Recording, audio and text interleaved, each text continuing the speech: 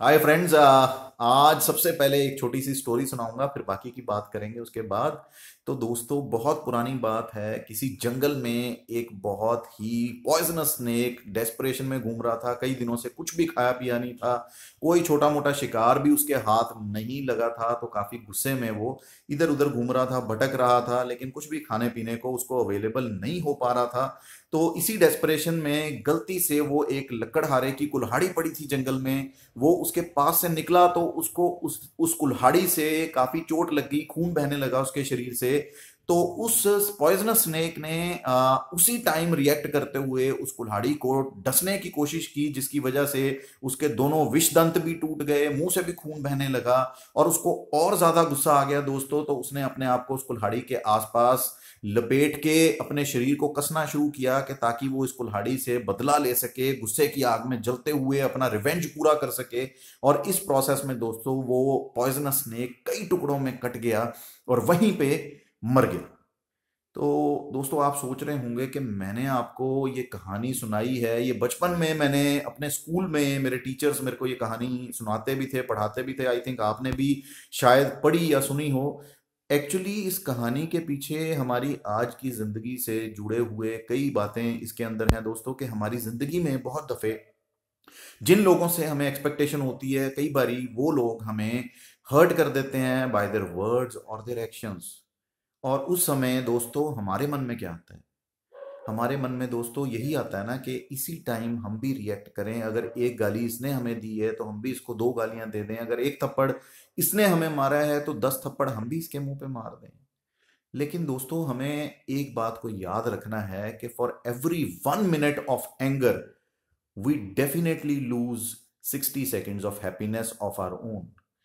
अगर हमें गुस्सा आता है और अगर हम दूसरे सामने वाले के एक्शंस पे हम भी रिएक्शन देते हैं तो दोस्तों एंगर में एक एक अल्फ़ाबेट डी जोड़ लें तो वो हमारे लिए भी डेंजर की बात हो जाती है। एंगर लीड्स टू डेंजर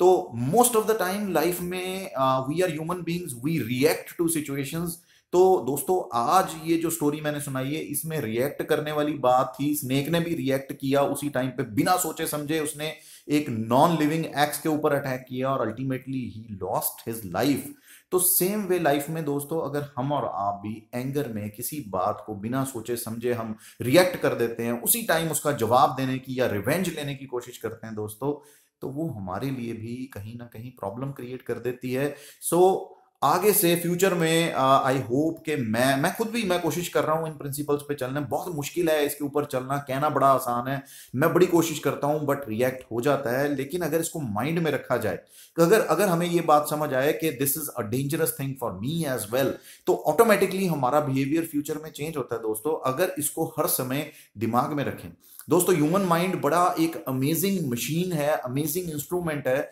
लेकिन हम नेगेटिव चीज़ों को जल्दी पकड़ लेते हैं। पॉजिटिव चीज़ों को पकड़ने में बड़ी दिक्कत आती है। मैं इस चैनल पे जितनी बातें करता हूँ, बड़ी पॉजिटिविटी के साथ करता हूँ। ये नहीं है कि मेरी लाइफ में नेगेटिविटी नहीं है, बहुत सारी चीज़ें हैं, बहुत सारी स्ट्रगल्स हैं लाइफ में, लेकिन देर इज़ अ मोटिव के let's discuss these things and let's try and come out of these things so आज के वीडियो की लर्निंग एक ही है कि never try to react rather try to think about the situation cool mind से सोच के उसके ऊपर रिस्पॉन्ड करें रिएक्ट ना करें तो शायद हमारा रिस्पॉन्स बड़ा इंटेलिजेंट होगा, बड़ा मेच्योर होगा और बड़ा रैशनल होगा और उससे रिलेशनशिप भी बच जाएगा प्रॉब्लम भी नहीं होगी। And this is what I wanted to say in today's video so thank you so much for being with me watching my videos and supporting me always God bless you all love you all